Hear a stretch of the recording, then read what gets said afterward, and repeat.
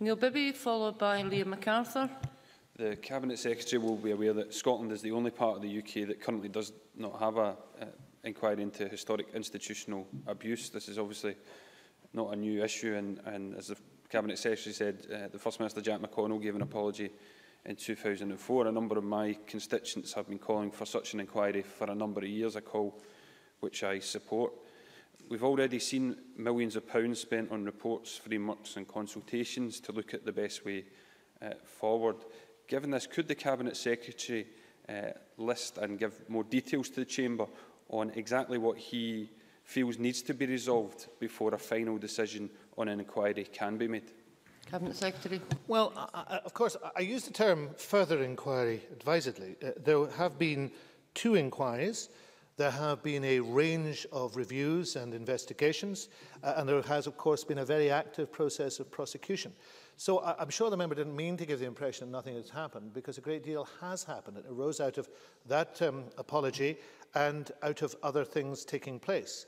But I would commend to the member the interaction process. This has been a unique process. I regard myself as very privileged as having, although I've only come into it towards the very end, very privileged at, at seeing what has taken place because it has been uh, quite extraordinary how the agencies, survivors and others have come together to negotiate and discuss a careful way forward.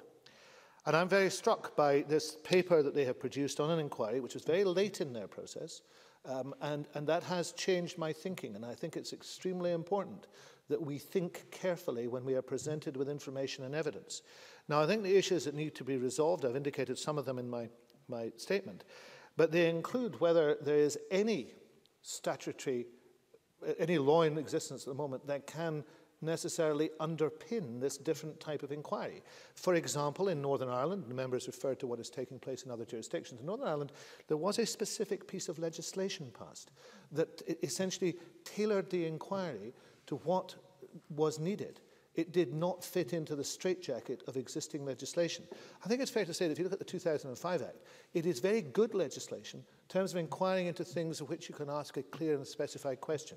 For example, how did an accident take place? How did a disaster take place? You can ask those questions. But when you're looking at, for example, issues such as the, eh, the, the public acknowledgement of wrong and the enhancing public understanding, those are not clear questions to be answered.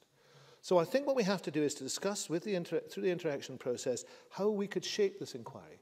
I also would not commend the approach that's been taken south of the border. There we seem to have had a decision on an inquiry and its remit, uh, which was announced ex cathedra and told to those people who were most affected. And I don't think that's the right way to do it. And I don't think that's how the Scottish Parliament would want to do it. So let's take the time to discuss this and to see what the right way forward is. And that's what I intend to do over the next few weeks, but I have set a timescale for that, very deliberately so that I can come back to this chamber before Christmas and, and, and conclude one way or the other and explain that conclusion and to be open to question from this chamber about that conclusion.